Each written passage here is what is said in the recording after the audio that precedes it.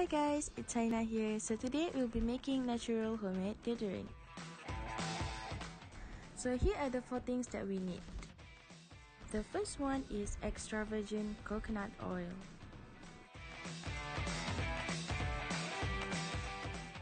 Next is bicarbonate soda.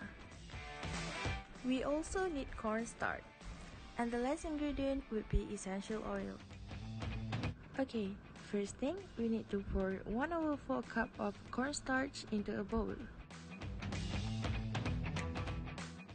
Next, pour 1 over 4 cup of baking soda into the same bowl. Then pour in the coconut oil. Add few drops of essential oil. Next, mix the mixture in the bowl until it looks like this. Take out a jar and transfer all the mixture into the jar.